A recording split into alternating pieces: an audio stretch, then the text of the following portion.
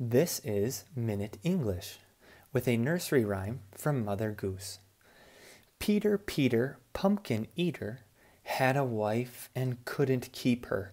He put her in a pumpkin shell, and then he kept her very well. Peter, Peter, pumpkin eater, had another and didn't love her. Peter learned to read and spell, and then he loved her very well. This rhyme is about a man who has a wife and has her home in a large pumpkin, a vegetable that grows in the garden. But the fun part about this is the rhyming of shell and well, spell and well. And then we have in the first stanza eater and her, eater and her in the second. So we will say this, the rhyme one more time. Peter, Peter, pumpkin eater, had a wife and couldn't keep her.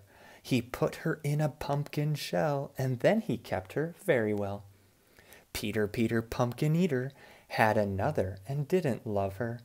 Peter learned to read and spell, and then he loved her very well.